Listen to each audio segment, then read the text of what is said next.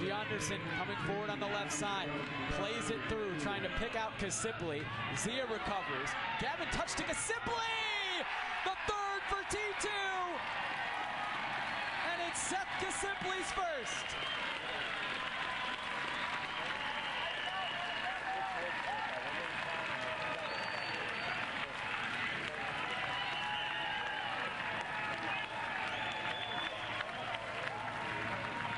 Again,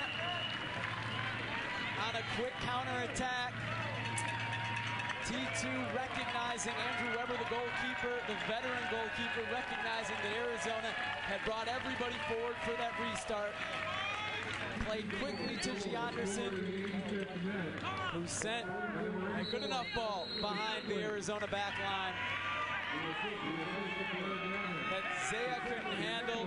Gavin did well to touch it to Casiple. Finish from the substitute.